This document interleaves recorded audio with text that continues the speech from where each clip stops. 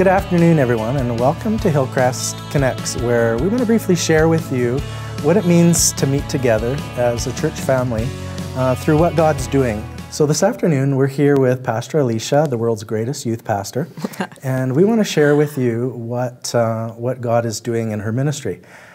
Pastor Alisha, what's happening with you personally through this COVID 19 pandemic? Well, it certainly changed things really quickly for us. Uh, just before the release that we weren't allowed to meet together anymore, we were actually on a youth retreat with almost 50 kids out at Whispering Pines Camp, and right. it was a phenomenal opportunity just to be so together with people. And then that afternoon to come back and be told, okay, everything has changed mm-hmm. since you were gone. Um, but to not allow that to create panic in what we do, and to it was an opportunity for Kristen and I to get really creative about what does youth ministry look like during a pandemic? What right. does it look like? How can we continue to uh, impact our kids and draw them towards Jesus and help them to grow in their faith, even when everything around them just seems so crazy and has changed. And so uh, we've had a cool opportunity to, yeah, really just kind of like bunker down and get creative and change what youth ministry looks like without changing what youth ministry looks like. Right. So uh, we've moved to online things. We're primarily using Instagram. We've been doing live morning shows, which are mm-hmm. mostly just entertaining for the kids and just bringing them out. And we're having our leaders get involved in that. And uh, Tuesday nights is when we would normally have our youth nights and we're continuing to have our youth nights. So we are bringing Wade in. We're still doing worship sets. We're still doing our games and announcements. We're still having a message. And, you know, kids are, we're used to them while we're speaking, they kind of heckle us. Mm-hmm. This is youth ministry in a nutshell. So it's kind of fun to see their comments as they continue to do mm-hmm. that while we're uh, just continuing to point them towards Jesus. I think one of the greater struggles that Kristen and I have been seeing as, you know, running the youth ministry uh, is all of a sudden now we're connecting with a lot of kids who have been struggling with anxiety. So mm-hmm. uh, the teen culture, that's just a massive struggle yeah. on a normal day with normal, regular circumstances.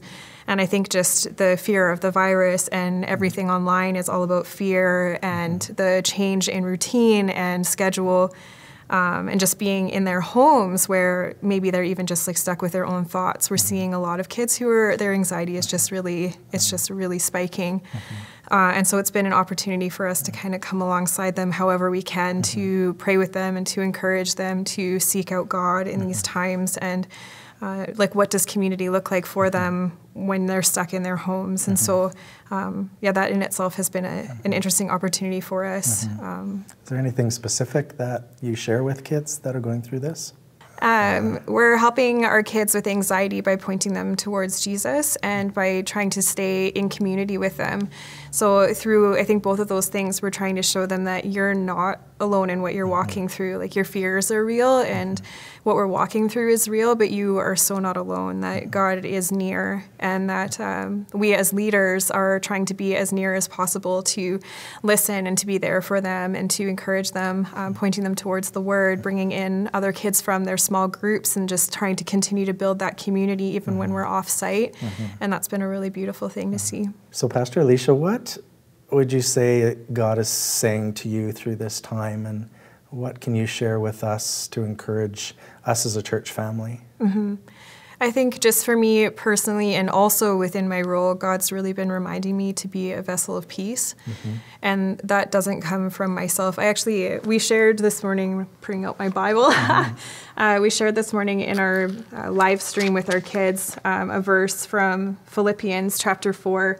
Uh, and usually we just jump right into the anti anxiety part of the scripture, mm-hmm. but um, the first couple of verses in 4 and 5 are big here too. So it's chapter 4 in Philippians. Mm-hmm. Starting in verse 4, it says, Rejoice in the Lord always. I will say it again, rejoice. And I just think what an opportunity that we have in the midst of all of the chaos and the struggle that we're walking through to remember to rejoice. And what does that look like. Now? What does this look like right where I'm at to rejoice?